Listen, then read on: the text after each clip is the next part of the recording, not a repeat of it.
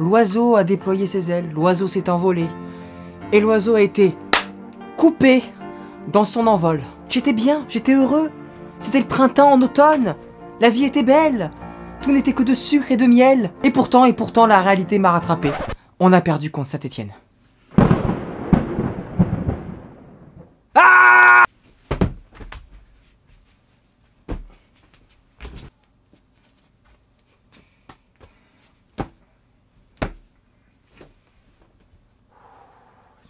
Débrief du match Bordeaux-Saint-Étienne. 2 à 0 pour Saint-Étienne. Forza à tous, c'est Snake qui kill sa grande tante la chauve-souris. Alors dans cette vidéo, on va débriefer le match, on va analyser ce qui s'est passé, on va essayer de comprendre un petit peu l'envers du décor, avec humour et franchise, comme d'habitude. D'ailleurs, en parlant de décor, vous avez vu, je suis dans un nouveau décor.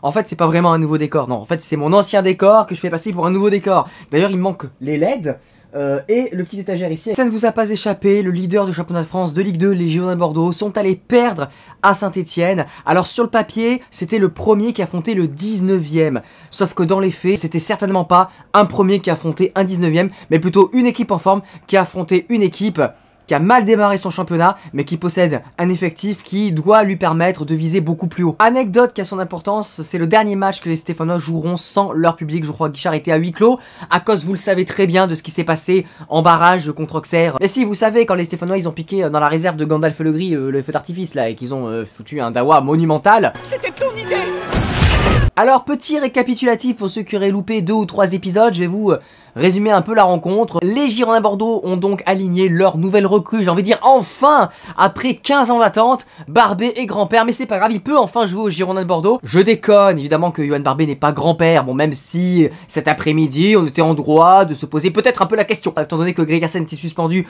on a fait venir Barbet, on l'a mis capitaine, donc euh, plus de la coup capitaine, maintenant c'est Barbet. Et enfin, Vitalen Simba a remplacé Ecomier, un petit peu fatigué, notamment il a il a, du mal un peu contre le Paris FC. Et vous allez voir que ces petits changements auront leur importance par la suite. Derrière la première mi-temps, euh, c'était très dur à suivre, hein, très long à suivre, pas beaucoup d'occasions, euh, c'était plus, plus un steak haché qu'un match de football. Et à ce jeu-là, ce sont un petit peu les Stéphanois qui ont pris le dessus. Évidemment, ce qui n'a pas rangé les Bordelais, c'est les blessures prématurées de Albert Ellis qui est sorti à la 15e minute de jeu seulement. Et surtout, et surtout, et surtout, Mwanga, Mwanga est sorti sur blessure à la 24e minute de jeu. L'enchaînement des matchs, on l'avait dit, on l'avait répété. Les petits jeunes, ils sont forts, mais ce sont pas des machines, ce sont des êtres humains. Ils ont pas forcément l'habitude de jouer des matchs de haut niveau comme ça, de les enchaîner. Et là, après 2-3 mois d'effort, euh, la fatigue commence à se faire sentir. Forcément, quand tu perds Mwanga, qui est ton meilleur défenseur, eh ben, euh, déjà que t'as aligné deux nouvelles recrues, au niveau des automatismes, eh ben c'est pas ça. Dès que Mwanga est sorti, les Bordelais commençaient un petit peu, pendant 10 minutes, ils se sont regardés, euh, ils étaient plus trop à l'aise. On a l'impression que ça leur a mis un petit coup au moral, tu vois, ça, les a un peu désorganisés et Saint-Etienne en a profité pour ouvrir le score grâce à une belle action collective d'un Stéphanois, euh, voilà, bien lancé dans la surface de réparation. Il avait deux choix, soit il tirait, soit il centrait. Et euh, ben malheureusement il a centré. Voilà, il y avait une chance sur deux pour Gaëtan Poussin. Gaëtan Poussin, il a, il s'est avancé, il a voulu couvrir l'angle en se disant tu marqueras pas, tu marqueras pas. Et au final, euh, ben, il a eu dans le cul quoi. Et malheureusement, c'est Wadji qui a touché le ballon et il a foutu au fond. Voilà, ça fait un 0. Et euh, là, blessure de Manga, blessure d'hélice, 1 à 0. Clairement, dans les têtes, ça va pas. Ça va pas. Et moi, sur mon live, je sentais que c'était très mal parti ce match-là. Le temps d'aller faire pipi, d'aller faire caca, de manger des pâtes de fruits. Et on repart pour la deuxième mi-temps. Et là, il y a quelque chose qui a changé. Ça y est, les Bordelais commencent à se trouver. On confiance en leur capacité offensive. Et ça se voit par qui? Par Bakwa. Enfin, non, ça se voit pas du tout. Parce qu'il s'est complètement viandé, ce con. Tu peux pas faire ça. T'as pas le droit. La passe D de Nsimba, si c'est Lionel Messi qui fait cette passe décisive, elle fait le tour du monde. Lionel Nsimba, vraiment une louche comme ça, magnifique pour Bakwa qui se retrouve seul devant le but et qui ne cadre pas sa tête alors qu'il était tout seul. Et c'est pas fini parce que quelques minutes après, rebelote, un centre encore je crois de Vital Nsimba, une tête de Bakwa, cette fois-ci la cadre, mais la cadre sur le gardien, sur le gardien, il pourrait la mettre là, là, là, là, mais non! Moi ce soir je sais même pas comment je vais dormir. Comment je vais dormir? Je ne pourrai pas trouver le repos parce que là, s'il égalise, ça change tout ça change tout À ce niveau-là, t'as pas le droit de rater. T'en rates un encore, mais t'en rates deux. Tu peux pas, tu peux pas en rater deux. Il y avait y avait un partout normalement. Bordeaux devait égaliser Bordeaux aurait mérité d'égaliser. Et malheureusement, dans cette situation-là, qu'est-ce qui se passe? Eh bien, souvent, tu es puni. Et c'est ce qui s'est passé, puisque quelques minutes après la deuxième occasion de Bakwa, Saint-Etienne va doubler la marque, va faire le break sur un centre, un dégagement de la tête de Barbet. On a Masson qui va reprendre le ballon de volée plat du pied, à terre, le ballon file dans le petit filet de Gaëtan Poussin qui ne peut rien faire. Ce truc là, il le tente 9 fois sur 10, ça part dans les tribunes. Quand il voit le ballon arriver, Je te jure, il ferme les yeux, il fait le signe de croix, il allume deux cierges, il tourne euh, avec un bandeau sur les yeux trois fois, et puis il tire et c'est dedans, c'est pareil. Je te jure, c'est la même chose. Je pense que la vérité est entre les deux. Elle est entre mon seum et euh, l'extase des Stéphanois. Et ça fait 2-0, maximum de réussite pour la Saint-Etienne qui double la mise contre le cours du jeu. Le match il est terminé, voilà il est terminé, on sait que c'est fini, il reste 20 minutes mais on n'y croit plus vraiment. Badji rentre, il a pas été euh, nul à chier hein, mais euh, en tout cas pour ce soir là j'aurais préféré remplacer le B par le W tu vois, euh, j'aurais préféré Wadji que, que Badji, hein, voilà. Là on s'est trompé de lettre, mais c'est pas grave, c'est pas grave. Bref ça finit donc à 2-0, est-ce que Saint-Etienne mérite de gagner ce match? Bon, j'ai envie de vous dire, sur l'ensemble du match, c'est pas volé que Saint-Etienne gagne le match, même si je trouve le score de 0 un poil trop sévère par rapport à ce que, que j'ai vu en tout cas sur le terrain. Parce que le football tient à pas grand chose. T'égalises, la tête de Bakoua, normalement, elle est dedans. Si t'égalises, derrière, ça fait 1-1 et le match il change de, de physionomie. Peut-être même qu'on le gagne cette rencontre. On peut pas dire qu'on a vu une équipe surclasser une autre. On a vu une équipe qui a eu plus de réussite qu'une autre. Quand tu perds deux joueurs sur blessure en début de match, c'est forcément compliqué, ça chamboule tout. En plus de ça, t'as les recrues qui ont été intégrés parce qu'il y avait des suspendus, du coup c'était pas les mêmes automatismes. Quand j'analyse le match là comme ça, je me dis ouais c'est clair, on a perdu. Franchement c'est une mauvaise opération, ça c'est sûr. Après, de là à dire que Saint-Etienne nous est surclassé, qu'on a été bidon, zéro, nul à chier, je suis pas d'accord, je pense qu'il y a eu des éléments, des faits de jeu qui ont pas été à l'avantage de Bordeaux et qui ont beaucoup joué et pesé sur la rencontre pour le coup. C'est pour ça que je suis un peu plus mesuré et que je vais pas me défenestrer. Maintenant qu'on a dit cela, il va falloir quand même qu'on parle des recrues parce que là clairement il y a un débat qu'on va pouvoir faire. Les recrues de Bordeaux. Je veux dire à un moment donné, quand tu vois les petits jeunes qui jouent et les recrues, moi je suis désolé, j'ai pas vu de plus-value. Je veux dire, c'est quand même fou. J'ai trouvé vraiment euh, de la lenteur. Voilà, dans le replacement, j'ai trouvé notamment Ensima Barbé. J'ai l'impression que c'était plus lent. Alors certes, les attaquants de sont peut-être plus rapides que, que la plupart des attaquants de Ligue 2, mais quand même, on a beaucoup subi à cause de ce manque de vitesse. J'avais l'impression quand même que t'en as, ils, ont, ils ont une charrette avec trois vaches, et la vache dans la charrette a sa propre charrette avec trois vaches, etc., etc. Je vais pas vous faire poireauter trop longtemps. Top du match, clairement, Bokele.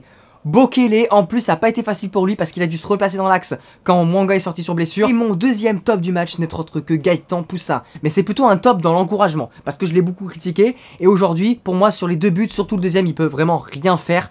Il est sorti deux, trois fois dans les pieds de, de Crasso. Donc je trouve qu'il a fait preuve d'une très bonne lecture du jeu. Il a aussi fait une belle parade. Donc Poussin, je l'ai trouvé euh, pas mauvais sur ce match là, on est plus sur du poussin, on est sur de la, on bonne poulette là. Là, on est sur de la bonne poulette, mais c'est pas encore un coq. Voilà, c'est pas un coq.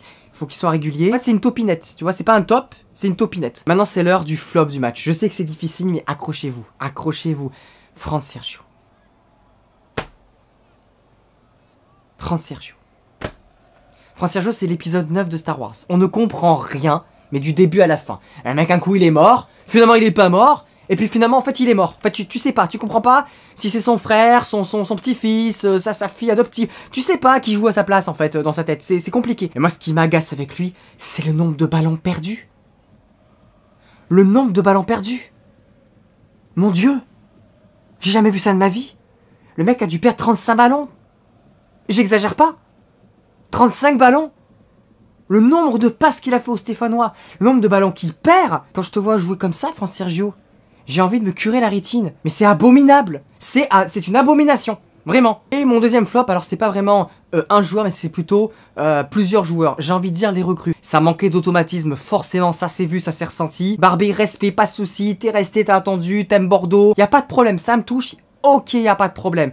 Mais par contre, je suis désolé, là, le niveau que tu as aujourd'hui, ne me permet pas de te dire que tu mérites d'être titulaire les prochains matchs. Voilà, si tu l'es, c'est pas la force des choses parce que Mwanga est blessé, mais pour moi, s'il n'y avait pas de blessure, il est clair que Gregersen, Mwanga, ça ne doit pas bouger. Et moi, je trouverais ça dégueulasse que Barbet arrive, prenne le brassard de capitaine et dise Moi, je suis ici, et que Guillaume le mette titulaire à tous les matchs. Non, de quel droit en fait? Non, de quel droit? Il doit gagner sa place. Alors, s'il gagne sa place, il n'y a pas de problème, mais pour l'instant, j'attends beaucoup mieux de Barbet. Et si jamais on voit que ça marche plus, qu'il y a des joueurs pas en forme, qu'on commence à prendre plus de buts, là, à ce moment-là, ok, on peut commencer à penser à faire des changements. Pour moi, tout changer d'un seul coup, c'est sûrement pas la bonne méthode et j'espère vraiment et j'espère vraiment que David Gond ne fera pas cette erreur dramatique. D'ailleurs dites-moi dans les commentaires si vous vous êtes inquiet euh, pour les gens à Bordeaux. Moi je ne suis pas inquiet.